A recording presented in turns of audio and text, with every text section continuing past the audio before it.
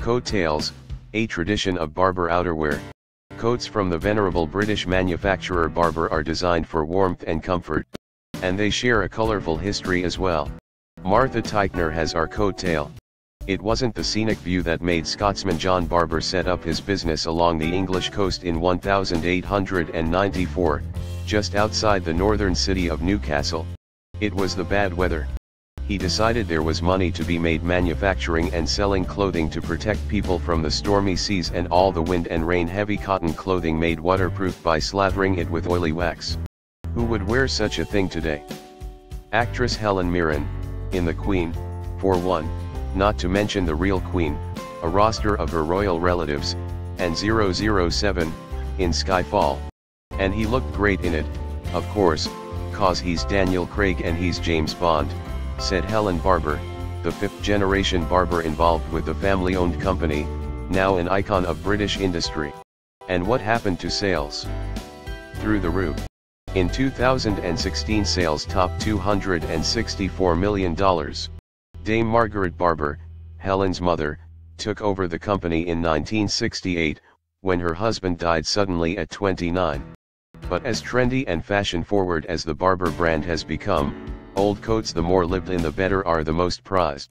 Dame Margaret recalled, the Queen, for example, when she sent her long jacket back to us, we said, we'd like to present you with a new one, ma'am. And her secretary said, well, the Queen would be very pleased to accept your kind offer, but she'd like her old one back, please, reproofed. Reproofed, as in rewaxed and sometimes completely refurbished at the Barbour factory. Helen Barbour explained people do send their coats when they get so bad that they have to be reproofed or repaired, yeah, when they can part with them, you know, cause they love them. They sort of keep them for generations. How many old coats come in every year for repair? About 14,000 into here, and about 25,000 worldwide, Helen said. Ian Bergin, who heads Barbour's menswear division, oversees the firm's 300 garment archive. He showed Teichner the oldest coat, dating from 1910, what he called Uncle Harry's jacket. The telltale sign of whether it's been used for horse riding is the lining stops halfway down, Bergin said. And the reason for that is, obviously the horse sweat travels up a cotton lining, so you'd stop the lining well before it hit the horse. Why does Bergin collect these old Barbours? You use them as a resource, really, he said. There's so many lovely details on the garments, and I think people genuinely like buying garments that they feel have a link to our historic past.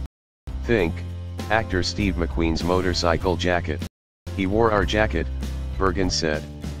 So we have a license agreement with Chad McQueen, Steve's son, and we reproduce old pieces of jackets, similar to what his dad would have worn. Which boils down to this, translating the aspirational into the actual.